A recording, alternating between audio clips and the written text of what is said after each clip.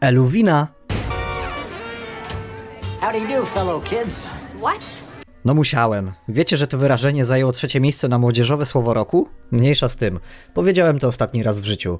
Wita się z wami jak zawsze Liduch, a to jest Krypta TV. Do premiery Wastelanders z każdym dniem jest coraz bliżej, lecz Bethesda wciąż skrupulatnie ukrywa informacje na temat nadchodzącego DLC do Fallout 76. Od czasu do czasu dostajemy jakieś tam ochłapy informacji oraz wpisy na stronie marki, czy też facebookowych i twitterowych profilach, które w minimalnym stopniu odkrywają przed nami karty. Ostatnio na stronie Bethesdy pojawiło się 5 screenów i to o nich chciałbym dzisiaj wam opowiedzieć.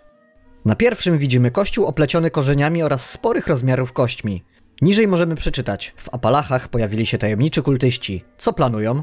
Czyżby autor wpisu miał na myśli kult ćmoczłeka? Wiele wskazuje na to, że tak.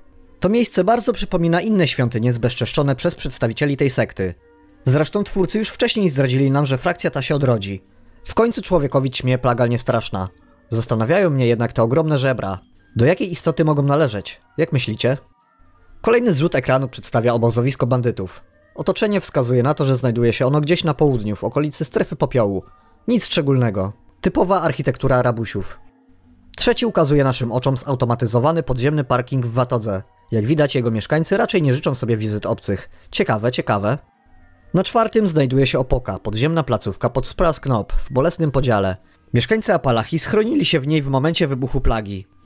Na ostatnim widzimy Gula. Poznaliśmy nawet jego imię, Mort, i według zapewnień twórców większość czasu spędza on w zajeździe w Wyward, niedaleko krypty 76 w towarzystwie księżnej.